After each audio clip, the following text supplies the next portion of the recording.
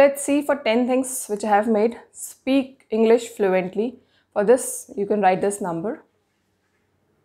Colours अभी मैंने सब में फिल नहीं किए you can use them accordingly this is for pain relief pain की प्रॉब्लम जैसे हमें फीवर uh, में होती है या किसी भी तरह का पेन के लिए आप इसको बना के रख सकते हैं कि जब भी किसी को घर में प्रॉब्लम हो you can use them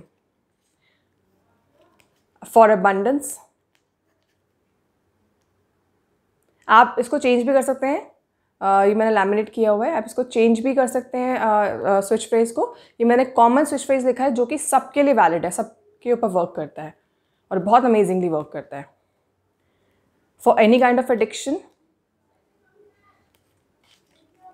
for vitamin deficiency ये जो मेन विटामिन डिफिशियंसीज हैं, उनके लिए मैंने लिखा है। बाकी और भी होते हैं इसके numbers if you want you can contact me for kids to have interest in studies you can make this और ये आप उनके स्टडी टेबल पे रख दीजिए कि वो इसी पे वाटर चार्ज करें। For getting the job you can use this आप इसमें अफर्मेशंस भी लिख सकते हैं। I am relieve from stress for stress you can write this number आप इसको हैंड्स पे भी लिख सकते हैं बट इससे वाटर चार्ज भी कर सकते हैं। और इस तरह से थ्री फिंगर मेथड से आप आ, इस नंबर को अपनी बॉडी में चार्ज भी कर सकते हैं। For confidence.